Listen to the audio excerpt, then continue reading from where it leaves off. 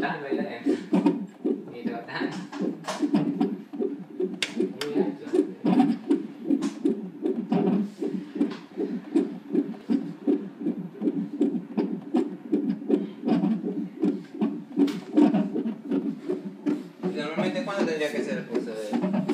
145, 150. Taquicardia es por encima de, de esta línea verde, sí, es 160. Esto es lo verde, es lo normal.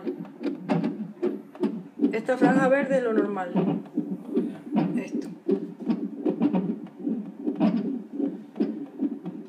Por debajo de la línea es bradicardia. ¿Ok?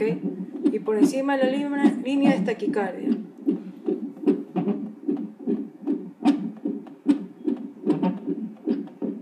Esta línea de aquí abajo es la línea del útero, si está o no está con contracción o no.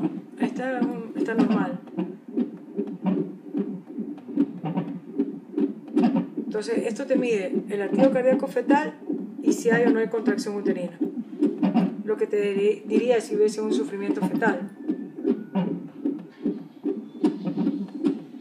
Como tiene una circular de cordón, lo que nos preocupa es que esté o no esté apretada y si le causa o no le cause algo de hipoxia.